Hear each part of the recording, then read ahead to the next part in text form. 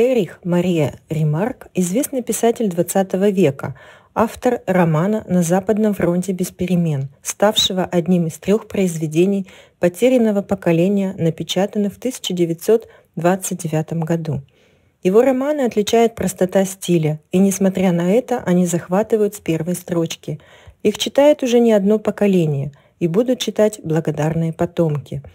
Эрих Мария Ремарк он сам себя приписывал к потерянному поколению, 18-летних, вынужденных брать оружие и отправляться на фронт, чтобы убивать своих сверстников. Тема войны звучит практически в каждом его произведении. Эрих Пауль Ремарк – уроженец Германской империи. Он родился 22 июня 1898 года в городе Оснабрюк. Его отец Питер Франц Ремарк работал переплетчиком, Мама Анна Мария Ремарк занималась домом и детьми. На момент рождения Эриха в семье уже подрастал старший сын Теодор Артур, но он скончался в пятилетнем возрасте. Потом родились сестры Эрна и Эльфрида. Благодаря работе отца в доме всегда было полно книг. Эрих пристрастился к чтению с раннего детства, особенно увлекался Достоевским, Прустом, Гёте – Кроме чтения, мальчик любил музыку, собирал марки, камни и даже коллекцию бабочек. Отец никогда не разделял увлечения сына, поэтому отношения у них как-то не складывались. Зато с мамой было полное взаимо... взаимопонимание и любовь. Поэтому, когда в сентябре 1917 года она умерла, парень испытал настоящее потрясение. В тот год ему исполнилось 19, и он принял решение в память о самом близком человеке сменить свое второе имя – Пауль на Мария. Эриха отдали в церковную школу, после которой он продолжил обучение в католической семинарии. После выпуска Ремарк поступил в Королевскую учительскую семинарию. В годы учебы он посещал литературный кружок, где собирались его единомышленники, а впоследствии и друзья. В 1916 году парня забрали на фронт. Повоевать удалось совсем немного. Спустя год он был тяжело ранен, поэтому до самого конца войны пробыл в госпитале. После выздоровления Эрих Мария возвращается в родной дом, оборудует, оборудует себе кабинет, где начинается его творческая биография. Он пишет, музицирует, рисует. В 1920-м Ремарк написал свой первый роман, получивший название «Приют грез». В 1921 году Эрих Мария устраивается на работу в местную школу, но выдерживает в ее стенах только год. Молодой человек перепробовал массу занятий, прежде чем писательство стало основным источником его дохода. Ремарк попробовал себя в качестве бухгалтера, репетитора, органиста и даже пытался заработать на торговле кладбищенскими памятниками – в 1922 Эрих Мария уезжает из родного города и поселяется в Ганновере. Находит работу в издании «Эхо Континенталь», где в его обязанности входило написание слоганов, реклам и небольших статей. Одновременно с этим Ремарк сотрудничает и с другими журналами. Перспективнее всего оказалась работа журналом «Спорт Bild», который ввел его в мир литературы и искусства – 1925 году доморощенный журналист переезжает в Берлин и устраивается в это издание на должность редактора иллюстраций. В 1926 на страницах одного из престижных изданий появились два романа Ремарка «Женщина с золотыми глазами» и «Из юношеских времен», которые и открыли миру имя их автора. С тех самых пор он начал, писать постоянно.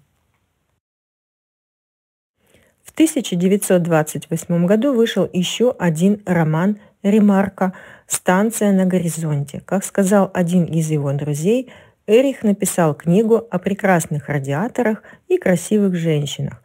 В 1929 автор представил на суд читателя свою новую работу – роман «На Западном фронте без перемен», в котором 19-летний юноша столкнулся с безжалостностью и ужасами войны. Книга была переведена на 36 языков, ее переиздавали 40 раз. На родине писателя она разошлась невероятным тиражом в 1 миллион экземпляров, которые были проданы в течение года. В 30-е годы сюжет этого романа стал основой для создания художественного кино. Спустя два года Ремарк издает новое творение – роман «Возвращение», о том, как живут вчерашние школьники, пришедшие с войны. В 1936 на полках книжных бутиков появляется новое произведение автора «Три товарища». Потом его перевели на английский и датский языки.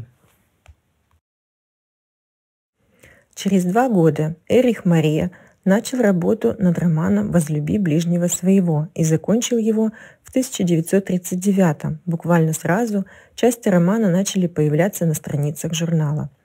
Май 1946 года ознаменовался выходом романа на родном языке автора «Триумфальная арка». Летом того же года Ремарк представил произведение «Искра жизни».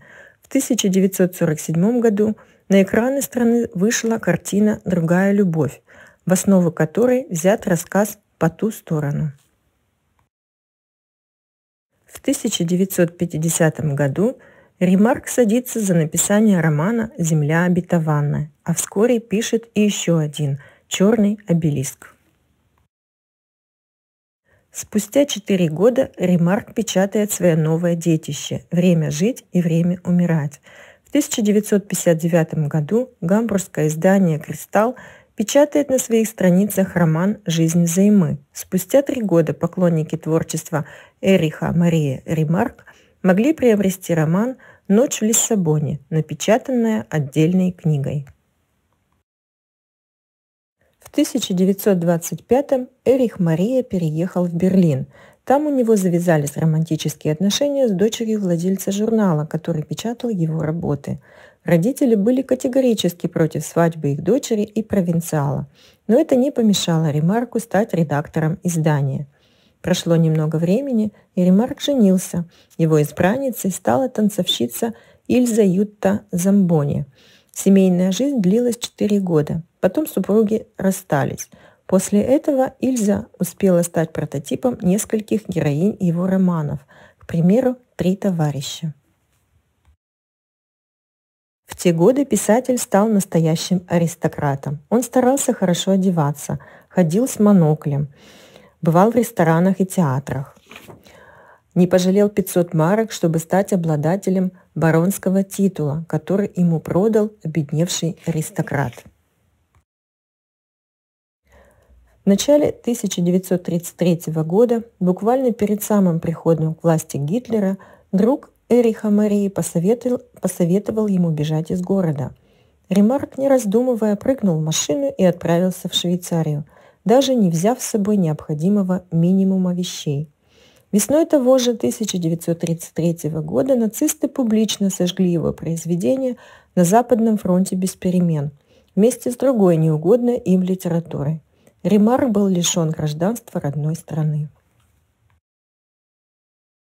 В личной жизни писателя главное место занимала Марлен Дитрих, актриса, прототип главной героини «Триумфальной арки». Она тоже была немкой, но уехала из Германии и с 30-х годов строила карьеру актрисы в Штатах. Этот роман стал настоящей мукой для писателя. Но Эрих настолько безумно любил ее, что готов был закрыть глаза на все ее поступки. В Голливуде Ремарку жилось неплохо. В денежном плане вообще все было отлично. Кроме этого, на него засматривались первые красотки Голливуда, в том числе и Грета Гарба.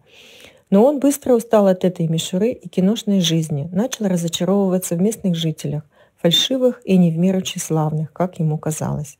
После разрыва с Марлен Ремарк поселяется в Нью-Йорке. В 1945 он завершает работу над «Триумфальной аркой», как раз в это время он узнает, что его сестра умерла в концлагере, и впечатленный этой трагедией начинает писать новый роман «Искра жизни», который посвятил ее светлой памяти. Это было его первое произведение, которое основывалось не на личном опыте. В 1951 в личной жизни писателя появилась 40-летняя красавица Палет Гадар – она была наполовину англичанкой, наполовину еврейкой. В 1957 Эрих оформил официальный развод со своей первой женой, заплатил ей компенсацию в размере 25 тысяч долларов и даже оформил документы о пожизненном содержании, по которому обязывался выплачивать ей ежемесячно 800 долларов. И в 1958 году Палет и Эрих Мария, Мария стали мужем и женой. Каждую зиму за два года до смерти Ремарку возил Палет в Рим. В последнее время он все чаще начал жаловаться на сердце. Первый звонок прозвенел в 1963 когда у него случился инсульт, но тогда ему удалось справиться с болезнью. Летом 1970 года случился очередной приступ. Его госпитализировали в одну из клиник Лакарна, из которой он уже не вышел. Известного писателя не стало 25 сентября 1970 года. Ему шел 73 год.